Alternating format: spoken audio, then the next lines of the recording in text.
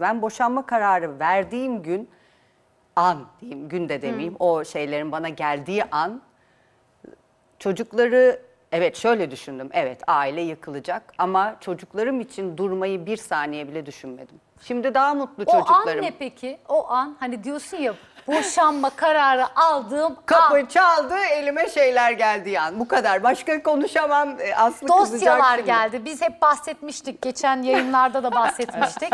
Ee, Geçen neyse. seneydi. Geçen seneydi. Şunu Evet, soralım. Geçen sene değil iki sene oldu. İşte Bir Biz sene. konuştuğumuzda. Bayağı o detayları 2016 yılı aynen, Eylül doğru. ve şeydir yani ben şeyi size hiç söyleyeyim unutmuyorum. Biz tarihi de. Gülşen'le yayındayız. Önce mesaj geldi sonra dosyalar geldi.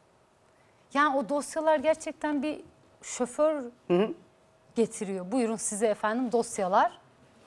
Ya Başka bir konuşamam. şey söyleyeyim mi? Allah'ın sevdiği kulusun. Gerçekten orası öyle. Peki senin gibi aynı durumda olan insanlar olabilirler şu anda çocukları için susanlar, belki o raddeye gelenler. Sen çocuklara bu durumu nasıl izah ettin? Çocukların kabul etmesi de kolay değil. Yani düşünsene babanız Çok beni mutlu bir aldat- ailenin Ha, içinde evet. e, tabii ki babanız beni aldatıyor diye Ne? ilk etapta söylemedim yani. E, bir sene bu e, şeyi verdikten sonra bir sene işte e, daha böyle bir yumuşak bir geçiş yaptım. Ama e, bir sene sonunda her türlü gerçeği onların anlayabileceği dilde çok direkt net e, içine girmeden anlattım. Ne dedin?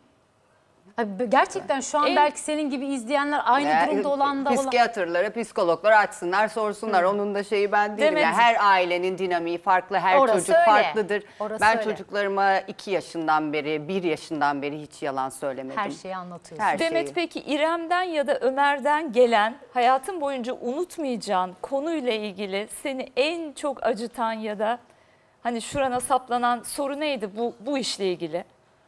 Çünkü onlar da çocuklar da öyle bir soru soruyorlar ki insanın Yok yüreğini hiç öyle bir saplanan saplanan şeyler başka taraftan var. Onlar o kadar güzel saplandı ki onun daha üstünü acıtacak şu ana kadar bir şey olmadı.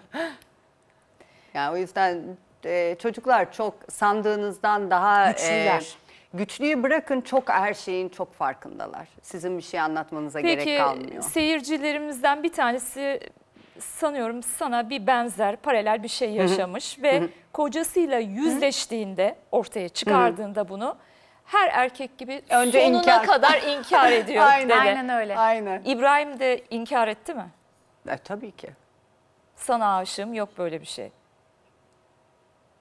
Klasik işte yani. Evet.